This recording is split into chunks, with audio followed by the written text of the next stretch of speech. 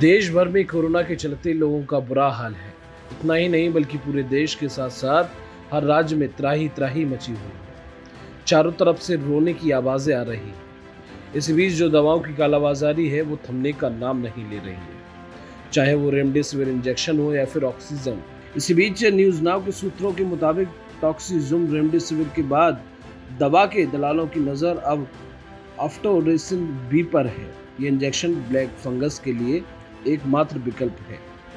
दलालों और दवाओं की कालाबाजारी करने वालों ने अब इस इंजेक्शन पर नज़रें गड़ा दी हैं। कोरोना से जंग जीत कर आए ऐसे मरीजों की जिन्हें पहले से कोई परेशानी है और उन्हें ब्लैक फंगस होने की संभावना ज़्यादा होती है। इस बीमारी में मरीज़ को बचाने के लिए सही वक्त पर अम्फोरिसिन इंजेक्शन के अलावा कोई और विकल्प नहीं है।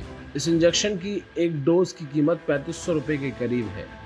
ब्लैक फंगस से पीड़ित व्यक्ति को ये इंजेक्शन आठ हफ्तों तक डेली दिया जाता है।